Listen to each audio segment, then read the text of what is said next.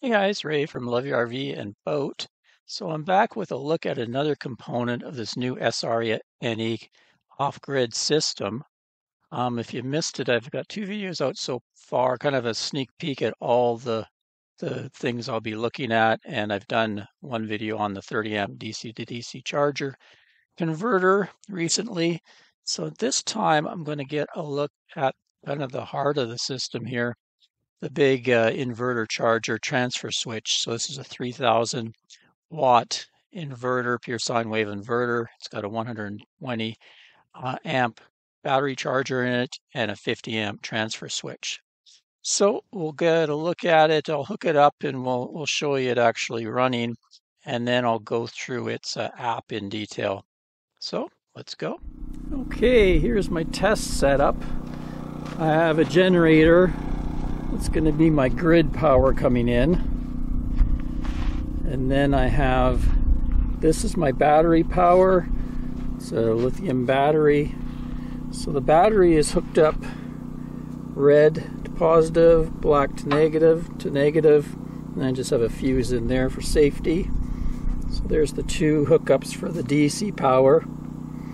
And then on the AC side, I have the cord coming from the generator into the input there. And then we have two outputs. One output is the inverter output, and it's going and it's charging, it's going to a charger in there as a load.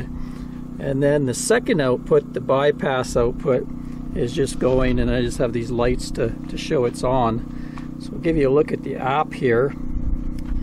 And you can follow the arrows there. AC in is coming from the generator. And then we've got right now it's charging. I have it set for 5 amps, just 5 amps of charging. One of the AC outputs is going to the battery charger, and that is uh, 418 watts. And then the other one is the one that's lighting those lights up. Other things we have here, we have a BTS, is battery temperature sensor so that could be a, a, temperature sensor for lithium. You could have the charger cut off at high or low temperatures, and also a temperature sensor for lead acid, so they would adjust the voltage for different charging levels depending on how cold it gets. There's actually battery voltage sensor, and with that you could run wires to the battery and, and get a gauge of what exactly the voltage is at the battery. Say you were you had a really long run of wires and there was quite a bit of voltage drop across the wires, you would you would get better charging because the charger would know exactly what the battery voltage was at the battery. wouldn't have to count on measuring it here.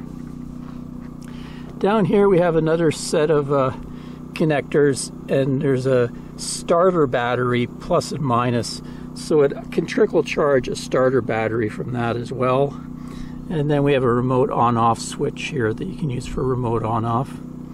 And then there's some RS485 and TTL outputs for connecting to uh, batteries or, or uh, communications hubs and that sort of thing. Anyway, right now we're in full mode where we're doing inverter power and we're plugged into grid. Now I'm going to unplug the grid and I'll show you what will happen. Okay, so let's just go turn the generator off and we'll see what happens to this. It should switch into just inverting mode. Right now it's charging the battery, so it should stop charging the battery and uh, start pulling out of the battery to keep doing the AC1 out load and the AC out 2 load, which is the bypass from the mains or grid power should turn off.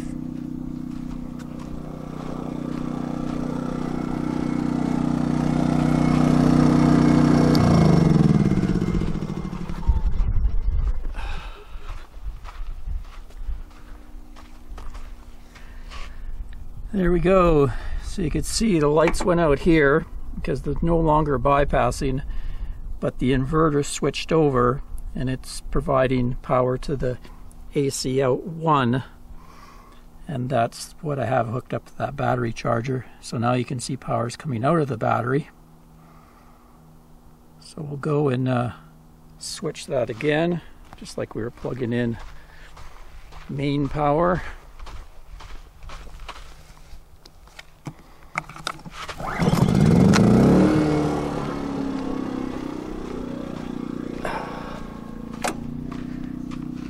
There we go. So now you see it's switched. We're charging and uh, the generator is providing power. And then I right now I have this set to come on in 60 seconds. I'll show you in a minute. I'll go through all the app and show you the, the different settings in there. But uh, this would be good if you wanted to only run something when you're on grid power, like air conditioning or water heaters, that sort of thing. You would have them set to hooked up to this, so your inverter would run things that you normally would want to run off grid, and then a lot of the other high wattage stuff would be on AC power too.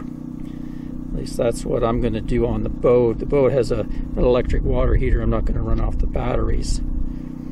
So we'll be bypassing using that. A few other things that I that I run only on shore power. There we go. So 60 seconds and that turned on. And we're back to this. Cool, everything seems to be working as it's supposed to. Let's go inside and we'll go through all the app settings in here for you, give you a look at that. Okay, so we're looking at the real-time screen. Gives you all the information that's going on. There's also a history screen, so after it's been used for a number of days, stuff will be populated here and you can look at data as far as energy use and charging, that sort of thing. Basic info, we've got the model number, serial number, version number, that sort of thing, and a factory reset. And then up here, it's a gear icon, that's where you do all the settings in drop down. So there's inverter, you can set the voltage or the, the cycles per second, 60 or 50. Let's see what you can set voltage from 100 to 120.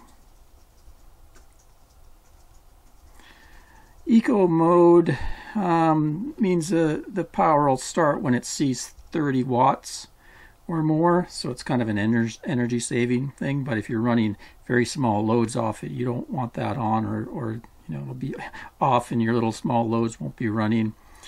And then it's got equal interval 60 seconds. Ground relay so I think that's so the the neutral bond neutral ground bond can be on or off. You have a choice there charging and battery so I'm set for lithium but you can set the other types of batteries here and a user defined as well but in the lithium you can do your charge current from 5 all the way to 120 amps. Nominal capacity, just enter the, the battery bank you're using. Boost charge voltage, you can set that. Lithium 14.4 is a good one for most lithium batteries. Over discharge recovery voltage says 12.6. Over discharge voltage 11.1. Boost charge time 120 minutes. I think that's once it's reached 14.4, you can decide how long you want it to hold that voltage at. Full cutoff current amps 1, 0 degree no charge of lithium. So that's if you hook up a temperature sensor, you can have it protect your batteries by not charging below freezing. And then lower limit of charge in Celsius as well. So that's kind of cool. So you have some settings to protect your lithium batteries from freezing weather. AC input, I have mine set to 30 amps because my boat and RV uses 30 amps, but you can go all the way up to 50 amps. Bypass output and mains charging, that's what we're in right now, but you can also have just bypass output and then it isn't charging through the, the grid power. AC output, priority for mains electricity, or in inverter priority, output switching voltage. So if it drops below a certain voltage, then it will give priority to the grid coming in.